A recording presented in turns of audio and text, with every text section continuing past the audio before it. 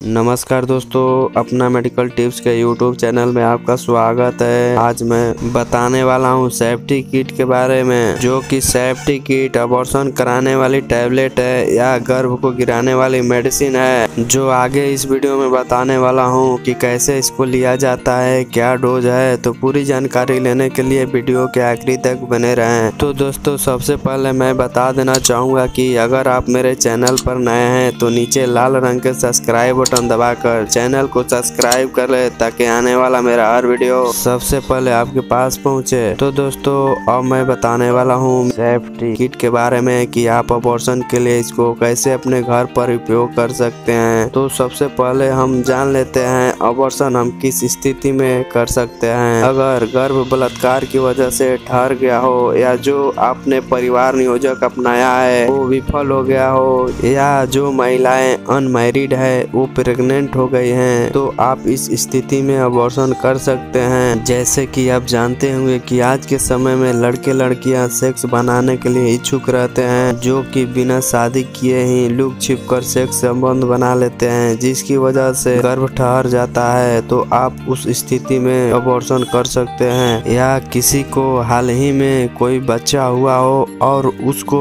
अभी बच्चा का प्लान करने में परहेज रखना है कुछ साल। तो आप स्थिति में अबॉर्शन कर सकते हैं। या फिर होने वाला बच्चा शारीरिक रूप से बीमार होने की आशंका है तो आप इस स्थिति में अबॉर्शन कर सकते हैं। इस सेफ्टी की टैबलेट के द्वारा। पहले की अपेक्षा आज के समय में लड़के लड़कियाँ इतना सेक्स संबंध बनाते हैं, जिसकी वजह से गर्भ ठहर जाता है, अनचाहे गर्भ ठहर जाता है तो ये टैबलेट आज के समय में बहुत अच्छा काम कर रहा है। तो दोस्तों, बताना चाहेंगे कि इसका उपयोग 60 से पैंसठ दिन की प्रेगनेंसी को टर्मिनेट करने के लिए ली जा सकती है। अगर आपको इससे ज़्यादा दिन का प्रेगनेंसी हो गया हो तो इस टैबलेट का यूज़ ना करें। अपने नज़दीकी लेडी डॉक्टर से संपर्क करें। अब बात करते हैं कि इसमें कितने गोली होती है। तो इस सेफ्टी किट में पाँच गोली आती है, जो कि ये बड़ा वाला, ये मिसोप्रोस्टोल की गोली है, और ये नीचे जो चार गोली है, ये मिसोप्रोस्टोल की गोली है। तो इस सेफ्टी किट में पाँच गोली आती है, जो कि ये बड़ा वाला है, ये मिफेप्रिस्टोन की गोली है, और ये जो नीचे चार गोली है, ये मिसोप्रोस्टोल की गोली है, जो कि बड़ा वाला का काम है, बच्चेदानी का मुँह खोलना,